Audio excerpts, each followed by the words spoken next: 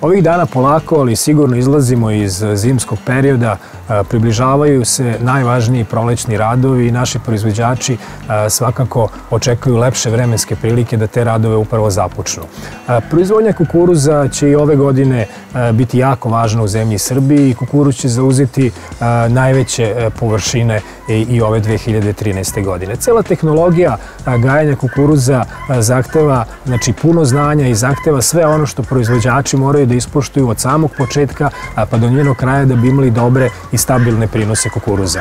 Ja se nalazim danas u srcu Stiške ravnice, u selu Kula, nadomak Požarevca i naš domaćin i moj domaćin danas je poljoprivredni proizvođač Veroljub Marković koji važi za jednog od uticajnijih, jednih jednog od većih proizvođača u ovom delu stiga. Ja bih evo zamolio Veroljuba da nam ovom prilikom pre svega predstavi svoje domaćinstvo, čime se i kojim kulturama najviše bavi i kako na koji to način radi. Evo ja sam Veroljub Marković, zvani Migula. Radim trenutno negde oko 60 hektara tropolj, pravim po 20 hektara suncokreta, kukuruze i pšenice. Ovih dana se pripremamo za proletnu setvu kukuruza, uradili smo prihranu pšenice i to je sad, samo čekamo bolje vreme. Ti se jako dugo uh, baviš poljoprivrednom proizvodnjom, ovaj, konkretno i proizvodnjom kukuruza. Uh, koliko je za tebe uh, važna ta upotreba pesticida, odnosno herbicida, kad govorimo o zaštiti kukuruza od pa korova? Dobro, ja se od detinjstva sam na poljoprivredi na selu, sam stao neki, imam sigurno pun radni staž, kad bi gledali 40 godina, sigurno se bavim poljoprivredom. E, upotreba herbicida je jako mnogo dobra stvar za mene koji radim 20 hektara kukuruza jer ne bi mogao stigno da obradim bez toga.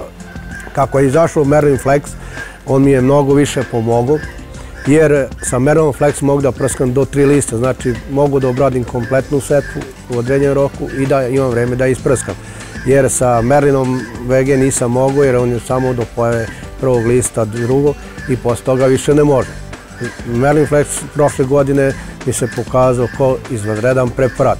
Imalo je proleći dovoljno vlage da ga aktivira i svaka naredna kiša ga aktivirala, tako da mi Merlin jako, jako mnogo pomogao. Merlin Flex je jako dobar preparat, e, znači posle njega e, nema korova, što ja kažem.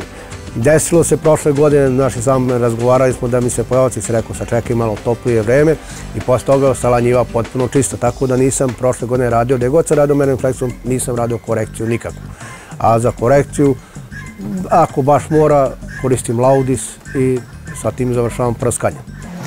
Prošla godina je bila prilično teška za proizvodnju kukuruza. Znamo kako je suša bila, kako su bile visoke temperature. E, da li ipak Merlin Flex uspeo na neki način da vam pomogne da ipak ostvarite malo stabilnije prinose nego da, da nije tako bilo? Suša je odnela svoj danak na kukuruzu, ali Merlin Flex mi je zaštitio izvanredno use kukuruza jer nisam imao ni jednu travku u kukuruzu, sve dojesni, ta njiva posle ostala čista i nakon oranja i svega gde je bilo malo drugačija zemlja, imao sam neki od 6 do 8, gde je bilo lošije od 3 do 5 tona i u proseku je loše, ali je, ipak sam zadovoljan. Znači, ipak sa takvim prinosima ste mogli koliko toliko da ostvarite pozitivan rezultat na, na proizvodnji kukuruza?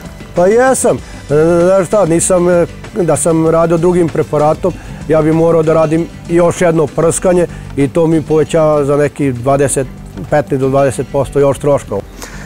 Sa takvom tehnologijom, ajde možemo da budemo svi zajedno sigurni da će i ove godine doneti, doneti neku zaradu, jer samo puna tehnologija i može da donese povećanje prinosa sa tim i veću zaradu po hektaru.